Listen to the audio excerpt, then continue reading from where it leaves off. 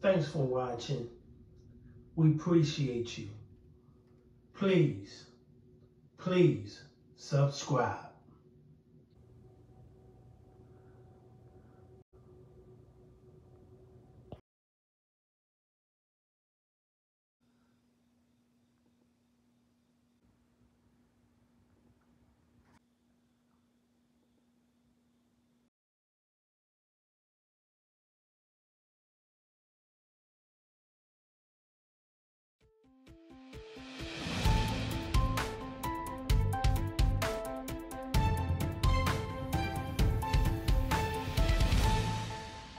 Now at 7, police robots with the potential for deadly force. The SFPD policy just considered by San Francisco supervisors allowing robots to kill suspects in certain critical situations. There's been a lot of talk about RoboCop, or, you know, which I think sets, you know, a whole lot of minds going to a whole lot of different places. This is KTVU Fox 2 News at 7 on KTVU Plus. And that controversial plan just passed about an hour ago in an 8 to 3 vote. Welcome, everyone, to the 7 here on KTVU Plus. I'm Alex Savage. And I'm Greg Lee. Those police robots will be allowed to use potentially deadly force. The plan's drawn criticism from civil liberties advocates. KTVU crime reporter Henry Lee reports.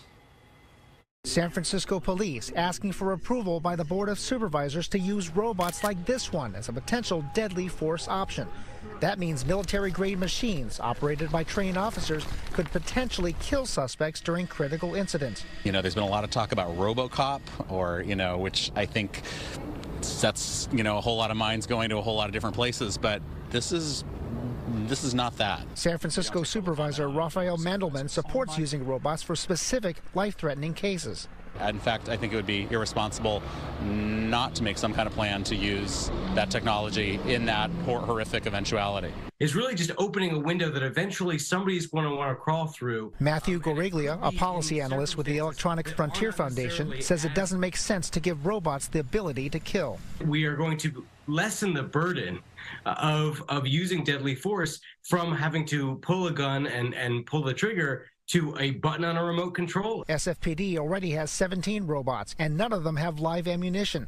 But the department is considering using a robot with explosives attached as a way to get into a building with violent, armed suspects barricaded inside. In a statement, SFPD said in part, while an explosive charge may be considered an intermediate force option, it could potentially cause injury or be lethal. Robots equipped in this manner would only be used in extreme circumstances to save or prevent further loss of innocent lives.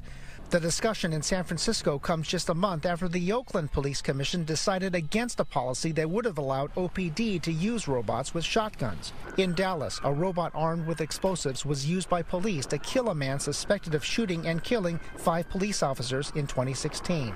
Transport the robot to the scene. Supervisor Hillary Ronen spoke out against authorizing lethal force for robots, saying she thinks this is an incredibly dangerous route to go. In San Francisco, Henry Lee, KTVU, Fox 2 News.